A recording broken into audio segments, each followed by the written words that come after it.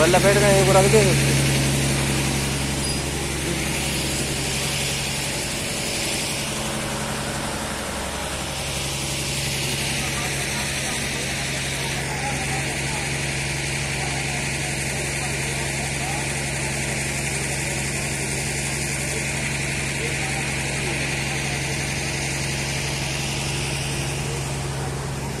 तो जब दिखावा है ना